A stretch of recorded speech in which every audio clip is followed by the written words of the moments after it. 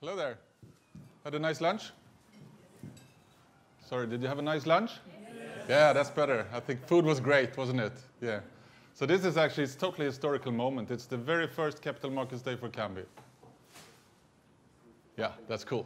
And Mia, you asked me to say a few words, to say welcome, and you asked me to uh, make a brief introduction of myself, right? Yeah. So I thought I'd tell you about my childhood. How's that? Yeah. So I'm uh, here to uh, show you some slides on my childhood and hopefully try to make a connection of how is my childhood relevant for this company, because no one really knows that. Uh, anyway, my relationship to sports started when I was very young, and I clearly remember, you know, being uh, not even a teenager, living in a suburb to Stockholm in Sweden, walking five kilometers with my, whatever you call it, ticket lottery on paper. That was the time when we placed the bets on paper. So I had my good friend Thomas and I, we spent all Tuesday picking out Manchester City versus Hull or Leeds versus Chelsea or Arsenal versus Manchester United. And I always betted for Manchester United to win, which is true. And there I was Wednesday, because all the bets had to be in at the latest 3 o'clock on Wednesday in Sweden, because the game was already on Saturday. So there was a, you know, it was a hurry. I walked forever and ever, it felt like, with my, you know, short legs, walking there, rain, snow, whatsoever, went into the tobacco shop, placed my, my ticket, placed my ticket, and I know what they did in the tobacco shop. They took all those tickets, put them in bags, and this went on all over Sweden, probably other countries as well at the same time. They took all these bags, collected them, put them on lorries, driven on petrol or diesel or whatever, drove these lorries to a central location in Stockholm, which is, by the way, the capital city of Stockholm, of Sweden, sorry. Uh, and there were some people, they were probably just looking at all these tickets and manually calculating and uh, you know, taking care of who was to win. And then on Saturday was the big game.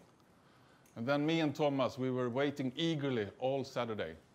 And we were, that was the time, there was like two channels on TV, Channel 1 and Channel 2, obvious. And on Channel 1, 16, 4 o'clock, there was this game, Manchester United versus Chelsea or Arsenal versus Saul. And then we were sitting there, hoping to get the full score of 13 all correct. One Chris, what's that? Cross. One cross or second. So that was kind of my childhood.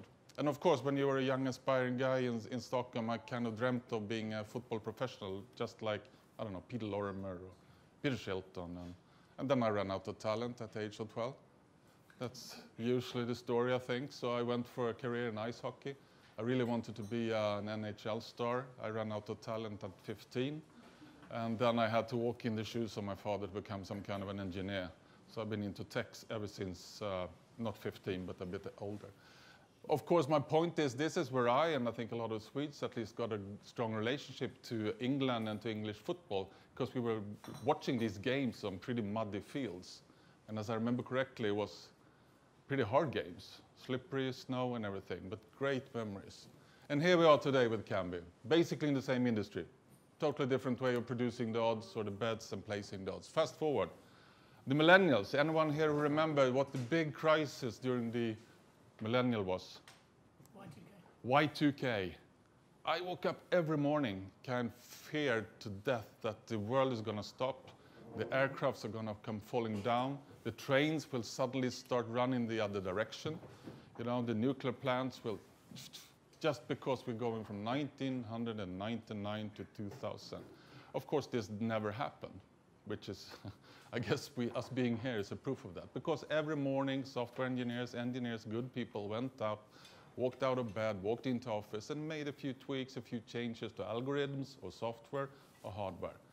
And the world is still carrying on. However, fast forward, at this point of time, I went to an investor conference because I'm also working with a company called HiQ, which is an IT tech company. We've been listed on the Stockholm Stock Exchange since 99, so that's been 20 years. And as part of that that part of my job, I went to New York. And in New York, I went for an investor uh, conference. I met a really young, passionate guy. He had a strong passion for sports, horses, football. and he came to me up walking and said, hey, I have, I have this idea, you know. Uh, internet is here and sports. I think we could combine this. And that's the first time actually when I met Anders Ström, who was the founder of Unibet. And that's the first time when I kind of connected my childhood, you know, of placing bad bets on good football teams in England with tech.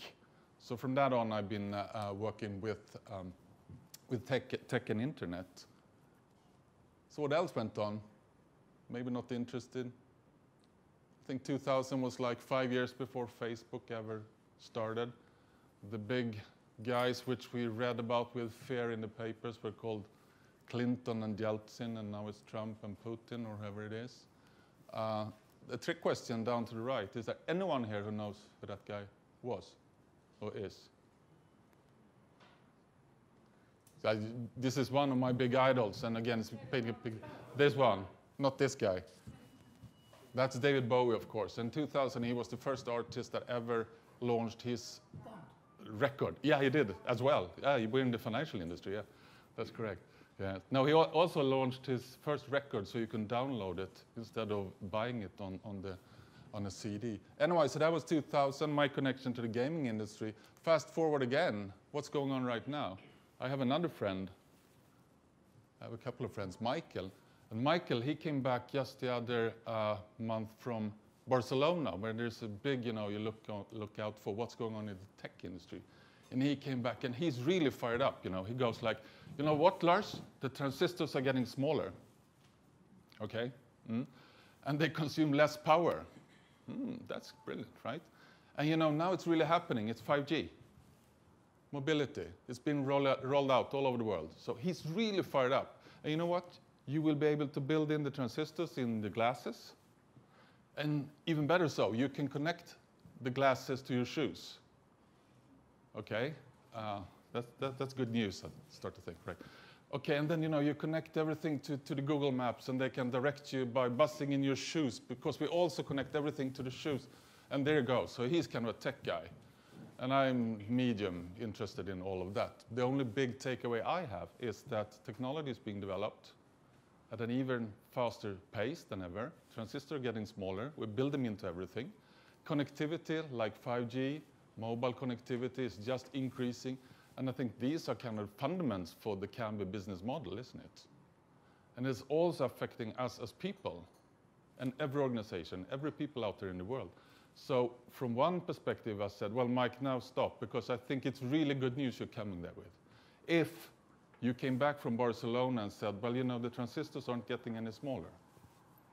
They will not consume less energy computer memories are getting smaller, uh, are getting bigger and more expensive, then I would start to worry.